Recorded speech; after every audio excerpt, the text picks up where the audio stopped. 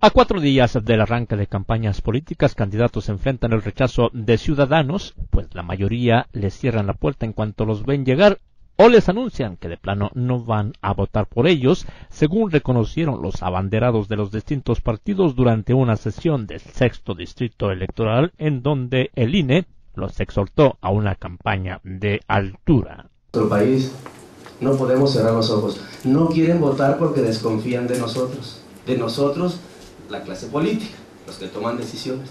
Durante la sesión, los aspirantes reconocieron el desencanto generalizado de la población.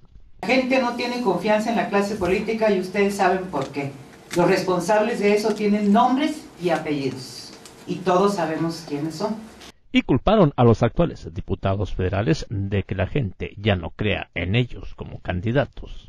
Porque desafortunadamente eh, de los mayores eh, comentarios que hemos recibido en la calle, estoy segura que mis compañeros candidatos no me dejarán mentir, ha sido la gran desilusión, apatía que tenemos de los ciudadanos hacia nosotros como candidatos por, por eh, los anteriores candidatos que han dejado una mala impresión a la ciudadanía.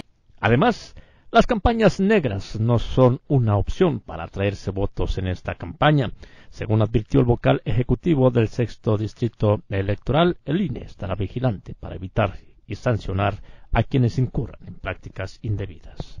La autoridad electoral estamos llevando a cabo cotidianamente recorridos de examinación por el distrito para verificar el estado que guarda la propaganda electoral de las y los candidatos y de los partidos políticos.